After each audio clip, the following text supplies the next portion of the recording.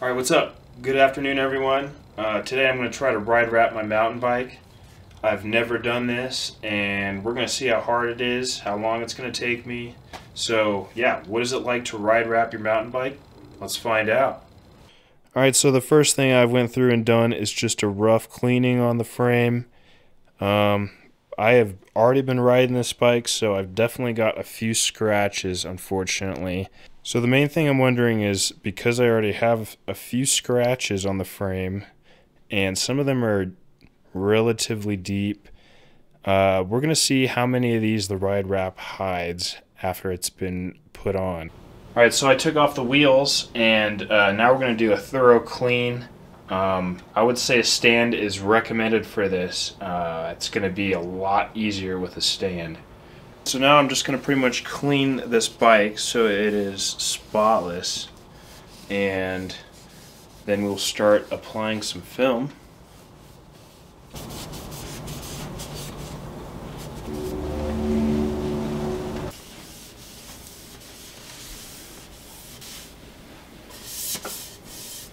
Alright, so I've gone ahead and thoroughly cleaned the bike and I haven't taken off the chain like they've recommended.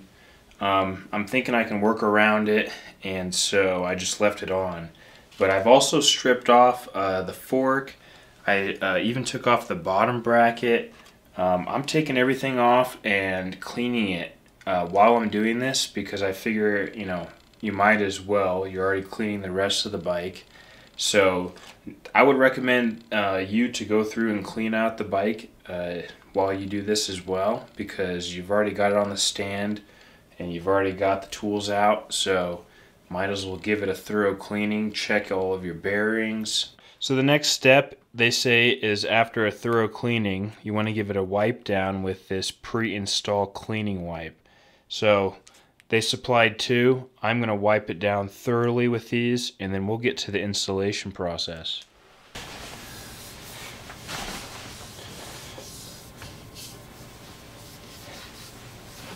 So I would definitely say one disadvantage to RideWrap before I even put it on is really you have to think about is it worth it for you to cover up what would already be a pristine finish to your bike. So in my case, I've got this raw carbon, no paint job, but just a matte finish over it.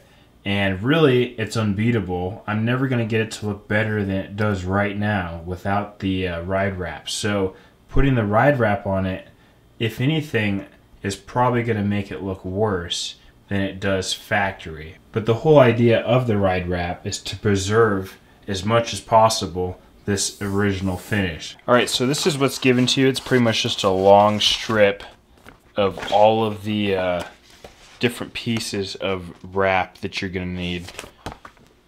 Also provided is the order of pieces and where they go. Another thing you're gonna have to do is make a solution. So they provide a concentrate. You have to get pretty specific with the amount that you use um, for the amount of water that you use. So, so too much of the solution with the water is going to leave it really hard to apply and for the edges to stick. But too little of the solution means that it will adhere too quickly and you don't have enough time to get the air bubbles out and situate the piece. So we're about to find out if I mixed this properly. All right, so I'm going to wet down my hands with some of the solution they recommend keeping your hands uh, wet at all times with some of the solution.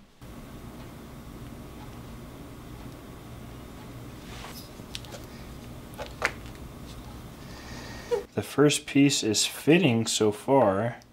Might have to make a few relief cuts. Alright, so got the first piece on. Took about 10-15 minutes. I'm glad they started you out on a piece like this where it's not as noticeable if you make a, a bunch of mistakes. So, uh, yeah, so far, so good.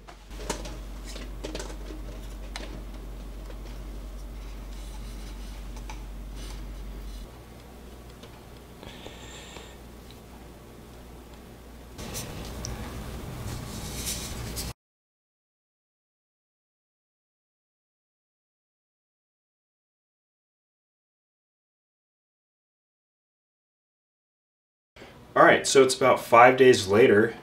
Um, I took it out for a ride about 48 hours after I installed it and uh, just to let it cure a little bit like it recommends.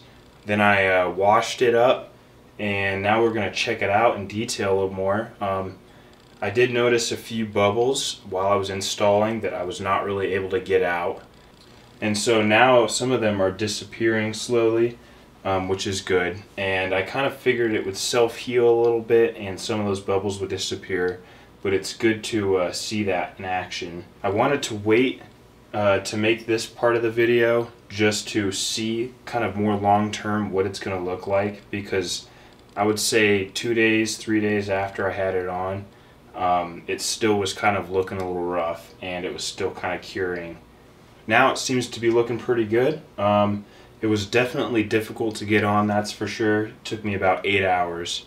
For the solution, I got pretty lucky and um, I got the uh, ratio uh, working for me at least.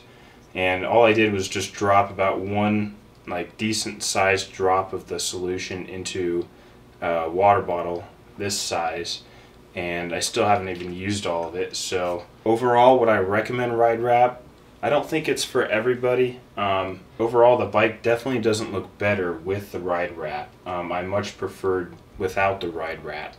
Uh, but long term, I have a feeling this will look better. So, and with this black, I have any of the scratches I get, they're just super obvious. So with the RideWrap, that helps quite a bit with, you know, more temperamental colors like this. Yeah, if you've got a little bit of time and patience, uh, give it a shot buy the tailored kit for your specific bike and uh, give yourself a day or two do it right and take your time and it's most likely going to turn out pretty good. So overall this product does what it says it does at least so far. Um, I'm definitely going to do a long-term review and update on it as time goes on and see if it's going to stay stuck to the bike and, and kind of like what wear and tear I end up seeing uh, specifically on the RideWrap itself. So if you have any questions on this, just let me know in the comments. A few tips I would say while installing that I learned. Um, definitely get the solution right and test with it. And uh, the instructions will tell you uh, more details about that. But for the technique that seemed to work for me really well was applying a lot of pressure.